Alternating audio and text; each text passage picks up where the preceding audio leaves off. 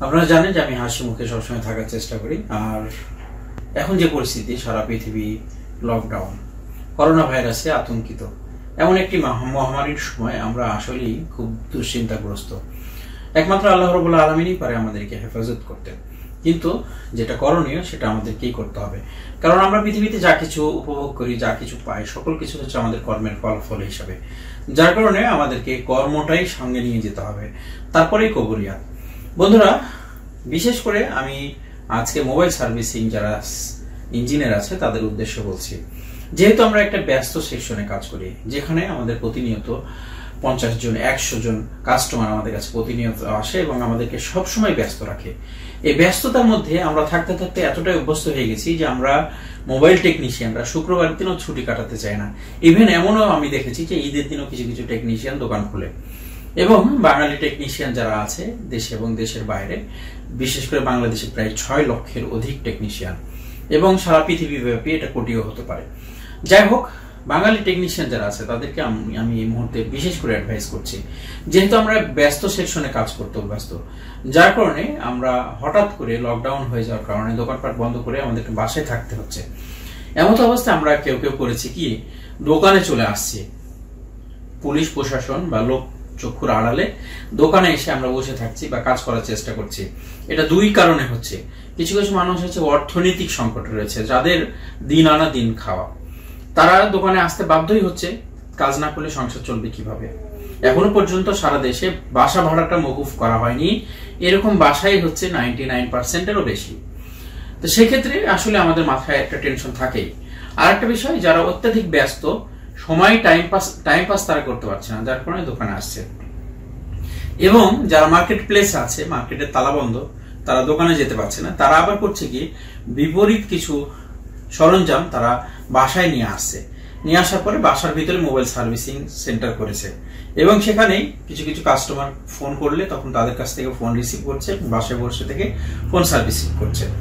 আসলে এত কিছু বন্ধ করা সম্ভব নয়। কারণ আমাদের পেটের খাবারটা তো কেউ এনে দিবে না। এটা তো আমাদেরকে করতেই হবে। এক্ষেত্রে আমরা বারবার ভিডিওতে বিভিন্ন রকম ভাবে সাবধানতা অবলম্বনের জন্য আপনাদের সামনে আসার চেষ্টা করছি। কারণ আমাদের এমন একটি মহামারীর সময় আমরা এসে পৌঁছেছি। এখন সারা দেশের মধ্যে যদি একজন ব্যক্তি করোনা রোগী থাকে, আর সবকিছু ক্লিন হওয়ার পরে একজন ব্যক্তি যদি রোগী থাকে, সেই একজনই যথেষ্ট গোটা দেশটাকে আবার ধ্বংস করার জন্য। এর জন্য লকডাউন থাকা অবস্থায় আমাদেরকে সেফ থাকার চেষ্টা করতে হবে। এর জন্য যার যেটা জায়গা, সেখান থেকেই আমরা সচেতন করার চেষ্টা করি। যারা কথা বলতে সক্ষম, তারা আমরা কনফারেন্সে আসি, ভিডিওতে আসি লাইভে আসি।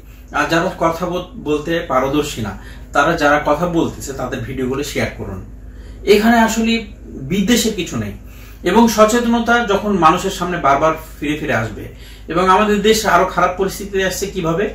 খারাপ পরিস্থিতিতে আসার মূল কারণই হচ্ছিল যে আমাদের সঠিক সংখ্যাটা আমরা পাচ্ছিলাম না।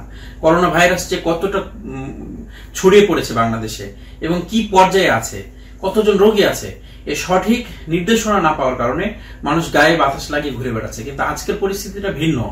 এবং কোনো এক সময় আসবে বাংলাদেশে যে পুলিশ, আর্মি অথবা বিভিন্ন সেক্টরের মানুষ কোন মানুষকে বাড়ি থেকে টেনে বের করতে পারবে না। মৃত্যু হয়। তার মানে আমাদেরকে বেশি বেশি প্রচারণা চালাতে হবে। তো মোবাইল সার্ভিসিং যারা ঘরে বসে থেকে করছেন বা বিভিন্ন ব্যবসায় বিভিন্ন রকম ভাবে লেনদেন করছেন, ট্রানজেকশন করছেন কাস্টমারদের সাথে, তাদের জন্য অ্যাডভাইস ধরেন আমি ফোনটা দিয়ে আপনাদেরকে যুক্তি দেখাই। যখন ফোনটা রিসিভ করছেন আপনি হাতে, একটা হ্যান্ড স্যানিটাইজার একশো পঞ্চাশ টাকা, একশো চল্লিশ অথবা একশো বিশ, এরকম দাম। এই স্যানিটাইজারটা নিয়ে আমরা প্রতি দশ মিনিট, পনেরো মিনিট পর পর হাতে স্প্রে করুন, হাতে স্প্রে করে এই মাথায় দুইবার, এ মাথায় দুইবার, হাতের তালুতে এদিকে। এবং উভয় সাইডে করে এটাকে আমরা হাতটাকে ক্লিন করি। এটা কিছুক্ষণ পর পর। আর যখনই আমার কাছে একটা ফোন আসবে ফোনটাকে অবশ্যই এখান থেকে স্প্রে করুন। এবং এই স্প্রেটা কিছুক্ষণ পরে উড়ে যায়, থাকে না।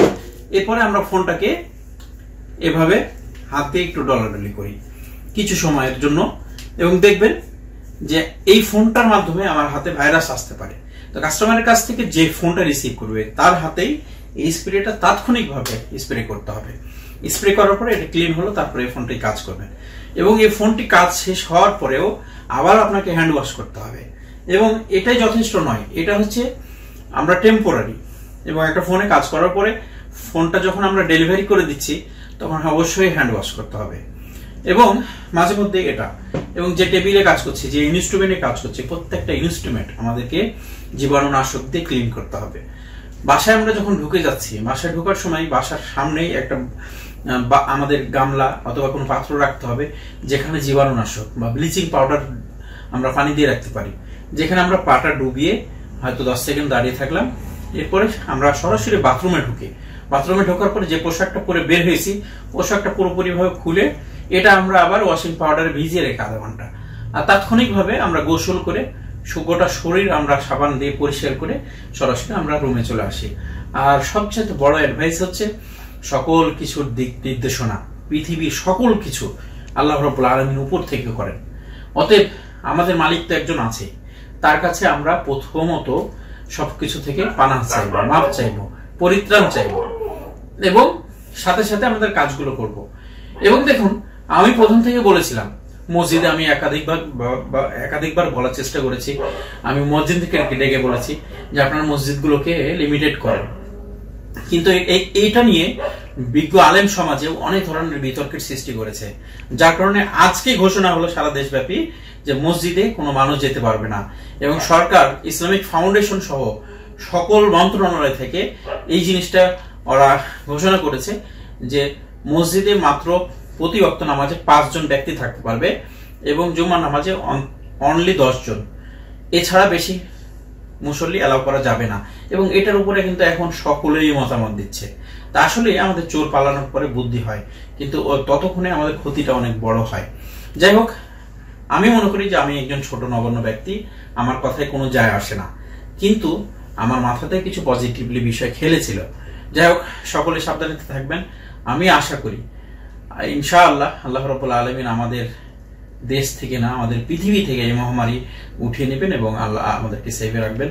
আমাদের সবচেয়ে বেশি কষ্ট আমাদের পিতা, মাতা, দাদা, দাদি যারা বয়স্ক এবং শিশু সন্তানেরা, আমরা তো বুঝতেই পারছি, আমরা ঘরে বসে থাকতে পারছি, আমাদের ধৈর্য আছে, আমাদের বোঝার শক্তি আছে, বাচ্চারা ঘরে থাকতে চায় না। আর সবচেয়ে বেশি কষ্ট কাদেরকে নিয়ে জানেন?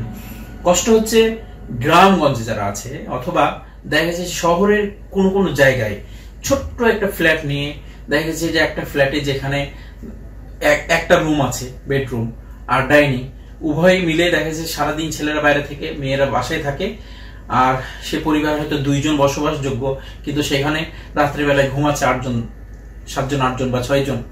তো রাত্রেবেলায় ছেলেরা আসে বাসায়, ঘুমায়, সকালবেলায় চলে যায়, যার কারণে এটা মেনটেন্সিং হয়। কিন্তু যখন লকডাউন হয়ে গেছে, ওই পরিবারে দেখা যাচ্ছে যে এট এ টাইম সবসময় আটজন, দশজন মানুষ বসবাস করছে। এটা কিন্তু আসলে নিঃশ্বাস বন্ধ হওয়ার উপক্রম। এরপরেও কিন্তু কষ্টসাধ্য তারপর আমাদেরকে মানতে হবে। আর সকলকে উদাত্ত আহ্বান জানাচ্ছি, যারা গরিব আছে আশেপাশে, আমরা নিজেরা নিজেদের খাওয়ার যে পরিসীমা আছে, খাওয়ার যে আইটেমগুলো আছে, এগুলোকে আমরা একটু ছোট ছোট করি এবং এখান থেকে কিছু উদ্বৃত্ত বাঁচিয়ে আশেপাশের যারা গরিব আছে, তাদেরকে দেওয়ার চেষ্টা করি। সকলে আমরা যদি ভালো থাকি তাহলে ভালো থাকবে। একটি কথা বলেছি, একজন করোনা রোগী যদি থাকে আমাদের দেশে, তাহলে কিন্তু আমরা সেফ না। এর জন্য এটাকে সবাই মিলে আমাদেরকে সুন্দরভাবে একটা পর্যায়ে নিয়ে আসার চেষ্টা করতে হবে। আশা করি সকলে ভালো থাকবেন। আসসালামু আলাইকুম রহমতুল্লাহ।